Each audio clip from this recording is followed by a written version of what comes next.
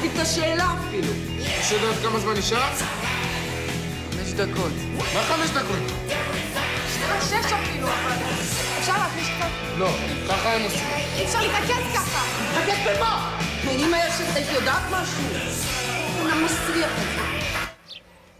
העולם היום הוא מקום בטוח יותר אחרי שהטרוריסט זאב נאמן חוסל אמש במפעל מלט 14 קילומטר מזרחית לנוביה סיטי. טוב, בסדר, לא כל משימה מתאימה לכולם.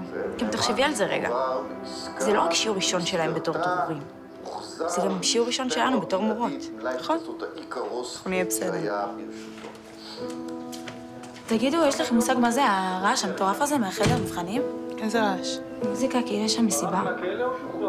אני אלך לבדוק את זה. מה שחשוב זה שהחל מהבוקר הוסר סופית האיום הכפול על מדינת ישראל וכולנו יכולים לנשום לרווחה. איך זה הגיע לנוביה? שלטונות נוביה ידעו שהוא שם? תגיד, למה אתה עם פרצוף פיתה מהבוקר? אני מנסה להבין איך האיש הזה הגיע לנוביה ואף אחד לא ידע על זה. מה הסיפור עם הפצצות? גם פעם קודמת מכרו לנו שהן הושמדו. שנייה. נט? מה? די, את עובדת עליי. טוב, חכי, אני כבר באה. שיו, אתה לא מבין מה הדורים האלה עשו עכשיו.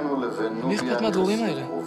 את קולטת בכלל מה הולך בעולם? ספק שאין שום קשר בין הטרוריסט זאב נאמן לבין השלטון הנובי. המבחן הזה זה עינוי.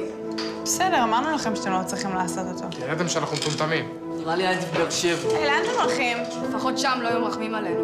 מצטער שאנחנו לא מתאימים למקום האיכותי שלכם. זה לא נכון. טוב, אולי נדבר על זה רגע.